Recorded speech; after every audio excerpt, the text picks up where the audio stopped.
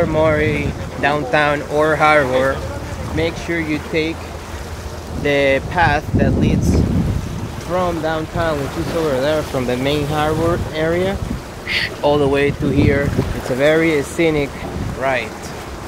So, feels like this, but one kilometer or something. So very enjoyable. And as you can see, there's an opening here